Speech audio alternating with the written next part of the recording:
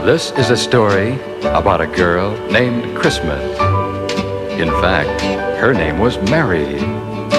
Just a tiny little girl in an orphanage home. But she sure had a lot of burdens to carry.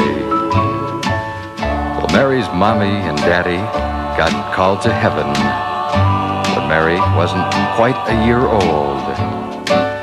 This is the story of Little Miss Merry Christmas and I think that it ought to be told.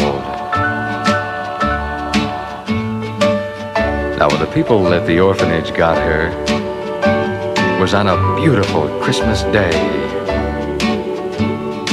A pretty little girl with the sparklingest eyes and a smile that never seemed to fade away. Well, they just named her Merry Christmas this happy little bundle of cheer.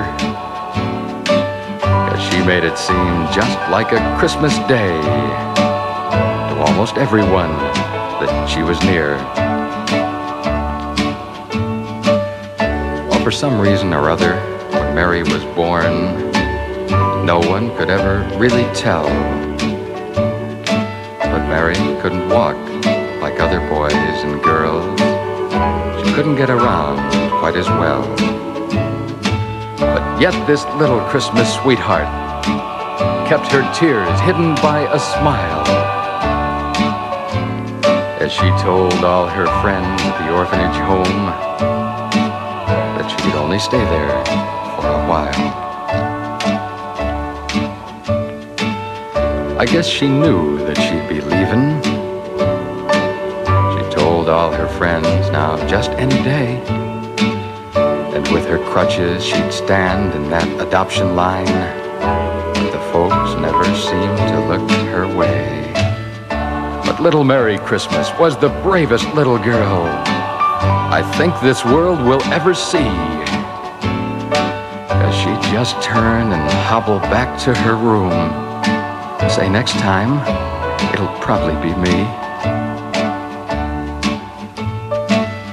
Tomorrow on Christmas, I'll see my mommy and daddy. That's what little Mary had said. And came the next morning. Sure enough, she was right. Her prayers had been answered that night. For there by the Christmas tree were her new mommy and daddy, eager to love her in every way, and take her home and into their hearts for the most wonderful, merry Christmas Day.